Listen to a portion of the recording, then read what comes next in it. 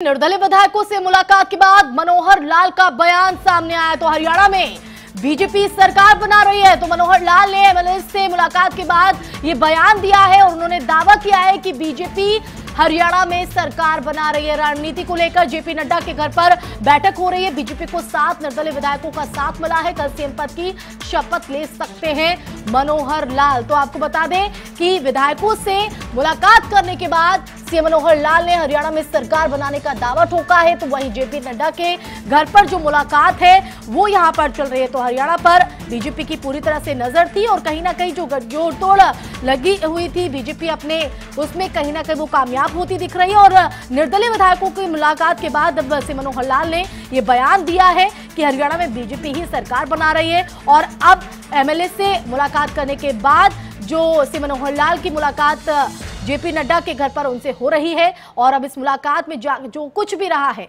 उस पर विचार विमर्श किया जा रहा है। और ऐसा माना जा रहा है कि कल से मनोहर लाल सीएम पद की शपथ दोबारा ले सकते हैं।